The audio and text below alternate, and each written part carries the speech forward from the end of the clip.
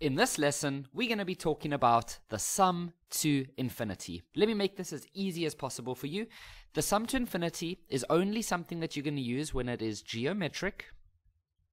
Okay? And the r value, the ratio, must be smaller than 1, but it must be bigger than minus 1. So if we had to draw a number line, it would be all the numbers well, let's say that was like minus 2, positive 2, and you know it can go all the way up to like a thousand or a million, whatever, minus a thousand.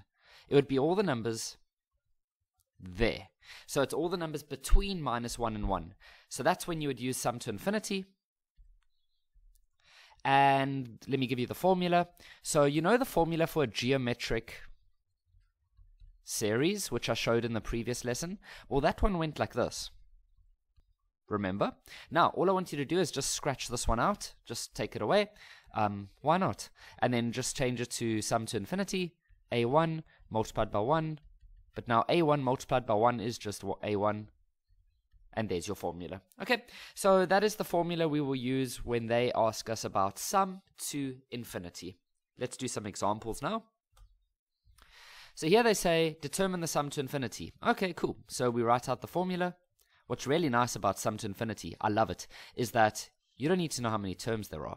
And so we can just go and say that um, A1 is term 1, which is a 1,000, R is a half, and if you had to go work this out, you'd get 2,000. Do you know what this actually means? It's really interesting.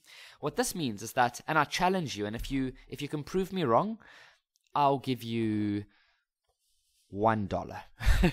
so um, check this out because you know I'm scared I say like a big amount and then somehow some like Einstein one day disproves me and then I have to like give away all my money. So one dollar. So the way it works is if you had to go plus all of these numbers together and you can let the sequence go on and on and on. So for example, if you halve, can you see that all of these numbers are halving? So if you had to keep going, what would the number after that be? I don't know, like 31,25 I think. Yep. And then if you had to carry on, the half of that would be like 15,625. Now, if you're really bored right now, I challenge you to go just carry on. Just go, just keep halving the numbers, okay? And you're going to start getting to some really small numbers. Now, I know there are some students out there who are going to go do this right now. Most of you won't, because most of you are like, nah, bruh, I want to, like, I got things to do today, you know? I just got to quickly get my studying done so I can go live my life. But there are some of you that are like, ha, challenge accepted. Anyways, so these numbers, if you just keep halving them, keep halving, keep halving, keep halving, keep halving, keep halving. Those numbers are going to get super, super, super small. And eventually, those numbers are going to become so small that your calculator is actually just going to say zero because they're just going to become so small. At that moment, I want you to then take the, the remaining two hours that you still have available and I want you to go add every single number that you just put on your piece of paper. All of them, those num- all those numbers that you wrote down, all the way down to zero, go plus them all together. And guess what? The answer will never be able to go more than 2000. It'll probably be 1999,999,99999. And if you really have a lot of time and you go for long enough, it'll probably get to 2000. But it will never ever be able to go more than 2000. That is what the sum to infinity does. It's amazing, super powerful. Okay, Kevin, I don't really care, bro. Can we just do the next example? Sure, let's go. So here's the next example. Um, so it says determine the sum to infinity. So we just do the infinity formula and just fill everything in. A1, 400. R is, oh, what's R? I should probably work that out. Some of you are going to say it's 4, but you'd be wrong.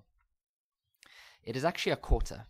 To go from 400 to 100, you're dividing by 4, but we're not looking at what you're dividing by, we're looking at what you're multiplying by. Remember, we've mentioned this before. Yeah, but Kevin, how do I work out R? I thought it was 4. To work out R, you can always term 2 divided by term 1, and that's going to give you 100 over 400, and that's going to be a quarter. And so we can fill in a quarter over there, and so that's going to give us 400 over 3 quarters, and that's going to give us 533,33. So what that means once again is if and, and if you're really bored, you can go do this again. Go add up all of these numbers. So the next number would be 12.5. The next number would be um, 6.25 and then it would be like 3 comma something and it will just get smaller and smaller and smaller and smaller if you do this for long enough eventually it'll become 0 then i want you to go add all of those numbers together and this is what you would get Okay, so the sum to infinity is very cool. It just knows how to add up all the numbers. It's amazing.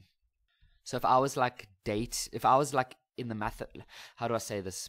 Okay, I don't think I can say this without sounding really lame and weird and nerdy. But if I was like living in maths world, I'd probably want to date sum to infinity because it's that cool.